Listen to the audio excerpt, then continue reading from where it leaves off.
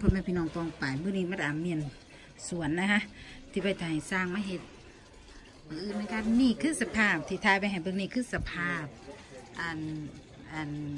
สวนหลังบ้านนะคะที่ถ่ายไปให้เบิ่งก่อนเด้อถ่ายไป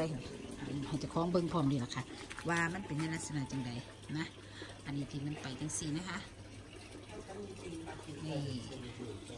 ตรงนี้จะปูพาติโอนะคะ ตรงนี้หน้าตรงนี้ไม่นี่นะคะ อันนี้ที่มาดามเคลียร์ไปเนี่ยแหละก็มีอื่นก็จะสิมาเป็นจัดการนะคะเดินเวลาการทำสวนละจีนเฮาก็จะย้ายไปอยู่นี่นะคะลองเบิ่งนะว่ามันจะเป็นแบบใดอันนี้คือฟังทางนี้สิบริเหตุหยังนะคะนี่จีนเฮาก็ต้องย้ายนะคะ นี่คือสวนสวนสวนถ่ายไว้ให้ดูถ่ายไว้ดูก่อนนะจ๊ะว่าก่อนและหลังมันจะเป็นยังไง นะคะ อันนี้ล่างศาสตร์นะคะมาดามล่างศาสตร์วันนี้ก็สิใส่เป็นหญ้าหญ้านะคะต่อจะกินเฮามาเลยนะคะ จะเป็นหญ้าไปเลยนะคะกระถาเบิ่งว่าผลจะเป็นยังไงนะคะ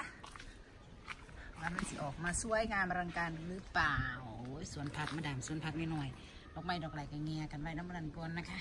นี่ประมาณนี้อันนี้คือย้อนกลับคืนไปที่บ้าน